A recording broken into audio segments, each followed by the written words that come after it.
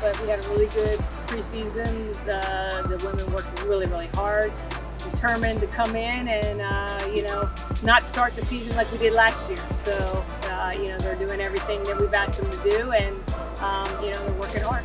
A great group of girls on the team this year. We have a lot of returners from last year. We only lost one player, and that was Dawn Faraci. Uh, she's one of our goalkeepers, but we still have her on the coaching staff, so that's great. Uh, we have a great group of freshmen that came in. They came in fit and ready to work and just came in to match the energy and intensity of the girls on the team. So I think that they're going to contribute immensely in the field this year, and I'm excited to see what we can do. This year it's a totally different year, totally different new season. What happened in the past stayed in the past. Of course, I'm going to try to build off of it and become a better player each time I go out there, but really I'm just focusing on getting better with my team and meshing better with this team and being able to take this team to the Final Four or even the national championship, you know, something that we all really strive for. We've got a couple of really nice freshmen that I think are going to have an opportunity to get some playing time this year.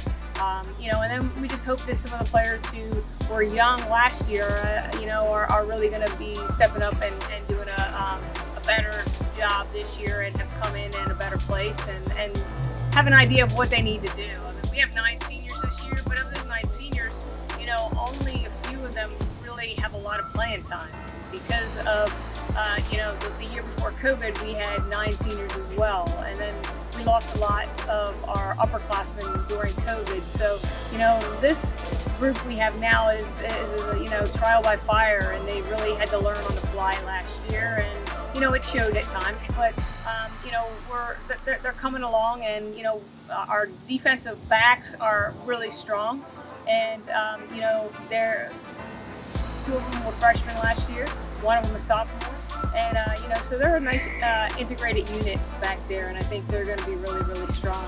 Uh, midfield, we have Mac Denopoulos, um, you know, coming back, and then we're going to have two new players probably in there in the forward line.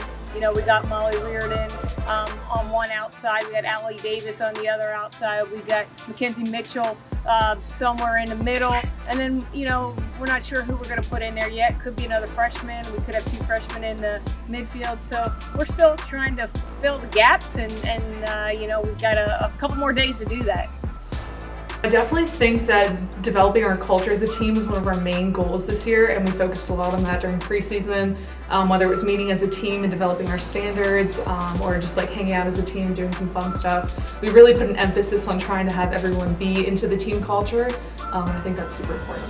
We want to start off at a, a much a higher level and not have to really uh, fight, claw our way back uh, and have the opportunity to you know, play for a competition and play and, and make the NCAA tournament. So hopefully we're in a better place. We'll be in a better place. You need to play in order to figure out where your holes are. You know, you can practice all you want, but until you actually get into that competitive um, situation and you see how they respond, what are they doing, um, you know, where are the deficits? Um, you know, you can't continue to move on and move forward. So, um, you know, we just want to play. You know, that, that's why we're out here. We want to play. We want to compete and compete hard. And you know, once we see that and get the first game jitters out, um, we'll be on a roll as to what we need to do from that point on.